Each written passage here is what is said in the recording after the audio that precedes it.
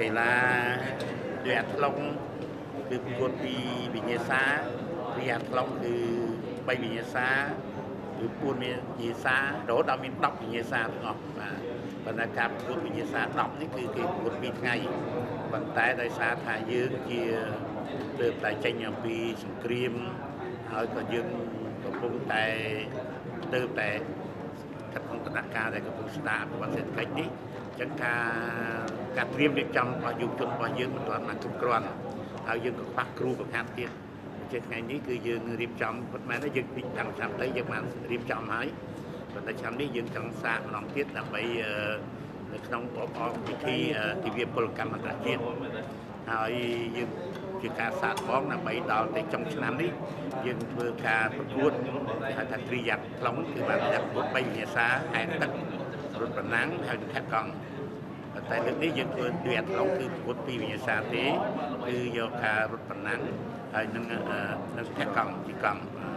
ប៉ុន្តែនេះយើងដើម្បីធានាដល់សុខភាពគឺយើងយកកោះពេជ្រយើងសូមថ្លែងអំណរគុណដល់គណៈកម្មការគ្រប់គ្រងកោះពេជ្រដែលលោកបានអនុញ្ញាតឲ្យយើងយកម ណ្ឌលកោះពេជ្រនេះធ្វើជាកន្លែងប្រកួតដើម្បីថាវាបានធានាឲ្យมันមានចរាចរណ៍ច្រើនដែលអាចជាសុខភាពដល់កីឡាកររបស់យើងអឺយើងប្រកួតនេះគឺយកថ្ងៃ28មេសានេះដើម្បីធ្វើការប្រកួតហើយយើងសង្ឃឹមថាគឺនឹងមានការកីឡាករច្រើនព្រោះឥឡូវនេះយើងមានក្លឹបទាំងអស់ប្រហែល8ហើយ8 8យើងមានក្លឹបថ្មី8ហើយដែលកំពុងបានបង្កើតឡើងហើយក្នុងនោះគឺរួមទាំងក្លឹបរបស់ក្រសួងព័ត៌មានផងហើយក្លឹបទាំង8ខាងជួយព័ន្ធត្រីអាថ្លុងមិនខាង ទៅចាក់ទៅយើងគេមាន8ក្រុមបាទអស់6 10ក្រុម10ណាត់តែគឺជាការយើងនិយាយរួមគឺយើងបានបង្កើតមានថ្មីថ្មីដើម្បីធ្វើឲ្យកម្ពុជាយើងឈានទាន់ទៅនៅក្នុងគេថាដំណើរវិវត្តនៃសកលភាវូបនីយកម្មនៃកីឡាតើកីឡាករទៀមទាមានលក្ខណៈសម្បត្តិមិនបានចូលរួមប្រកួតនេះអឺលើកនេះយើងអត់ទេដោយសារយើងប្រកួតនេះមិនមែនជាការប្រកួតយកជើងឯក ប្រចាំប្រទេសអីទេចឹងជាការប្រកួតដើម្បីថាដើម្បីសុខភាពរបស់គ្នាផងដូច្នេះយើងគ្រាន់តែកម្រិតអំពីកង់វិញទេ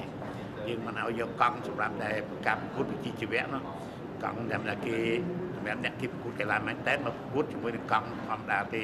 ប៉ុន្តែយើងមានកម្រិតស្តង់ដារកង់របស់យើងដែលកម្រិតជាមួយបន្ទាប់មកគឺក្រោមកង់ក្រោមនឹងតិចតួចយើងអាចជិះប៉ុន្តែបើតាណាយើងមានកង់ប៉ុណ្ណឹងមែនតែដែលខ្មែរយើងច្រើនហៅថាកង់គួរ នោះគឺគាត់អាចយកមកដែរប៉ុន្តែមិនរាប់ចូលក្នុងការប្រកួតទេគាត់អាចចូលរួមគាត់ថាគាត់មកអបអរការធ្វើកីឡានេះអញ្ចឹងទៅគាត់តាំងទីដើម្បីសប្បាយទាំងអស់គ្នាចិនសាវរីទាំងបានប៉ុន្តែបើចាប់ថាយកដើម្បីយកប្រកួតមានរង្វាន់នោះ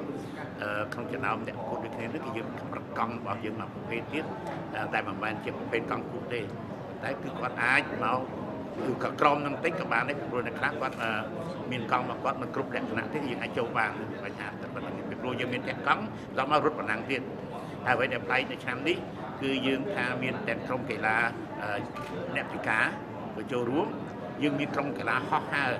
ទៀតដែលចូលរួមដែរអញ្ចឹងគាត់អាចហោះជួយថតពីលើជួយអីហើយនឹងបង្ហាញអំពីក្លឹបរបស់គាត់គឺគាត់បង្កើតតាំងពី2003មក10ឆ្នាំហើយប៉ុន្តែគេហាក់ដូចជាបានចាប់អារម្មណ៍ ដូច្នេះជំនេះយើងនឹងទាញចូលទាំងអស់គ្នាដើម្បីជាការបង្ហាញថានៅកម្ពុជាយើងក៏មានកីឡាហោះហើរមួយប្រភេទទៀតដែរដែលជាប្រភេទថ្មីមួយហើយជឿថាយុវជនរបស់យើងភាគច្រើនក៏អាចចូលចិត្តនិងចូលហាត់នៅក្នុងកីឡាហោះហើរនេះដែរ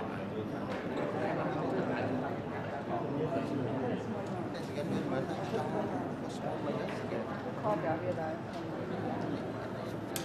ថ្លៃជាងម៉ូតូ5ដងថ្លៃជាងឡាន